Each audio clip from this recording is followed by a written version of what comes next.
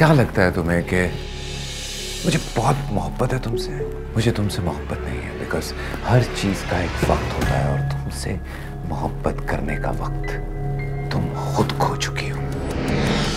बेवा और बेशर्म होने के बावजूद मैं इस घर में दुल्हन बना के लाई हूँ। तमीज नहीं है तुम्हें? जब किसी की औलाद पे उंगली उठती है ना ताई जान तो वो ये नहीं देखता कि वो कहाँ खड़ा है। मैंने तुम्हें मना किया है ना कि यहाँ मत आया करो। बुआ तो हमें एक साथ देख ही चुकी थी। मैं चाह रहा था एक नज़र आप भी देखें। ये लो। ठीक है तलाक। पारसाई देखिए हर जुमे की रात आठ बजकर दस मिनट पर। ए प्लस पर।